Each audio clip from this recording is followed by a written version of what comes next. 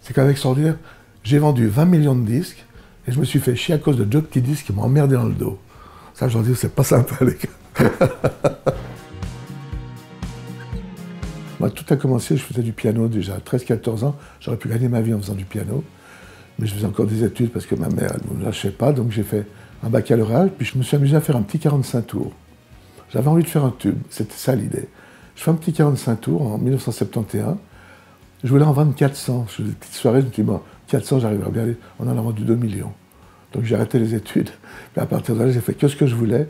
Et jusqu'à maintenant, j'ai eu plein de choses. J'ai jamais été tout en haut, mais jamais tout en bas non plus. J'ai beaucoup de volonté, je pense, dans la vie, professionnellement et tout. Mais euh, pour moi-même, j'ai pas beaucoup de volonté. Puis je, je me trouve plein d'excuses. C'est horrible, je me trouve plein d'excuses. Puis de temps en temps, ça va moins bien. Mais j'ai une bonne santé, je vous l'ai dit. Seul problème, j'ai fait les genoux il y a 7-8 ans. Et ça s'est très bien passé.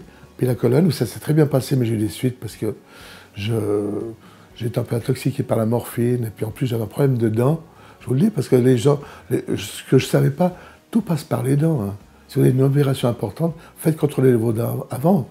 Moi, je suis assez médecine euh, traditionnelle.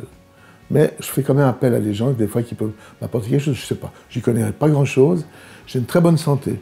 Petite surcharge pondérale, mais ça, ça fait, ça fait 50 ans que je l'ai, ça, ne me pose pas de problème. Mais par contre, j'ai une bonne santé.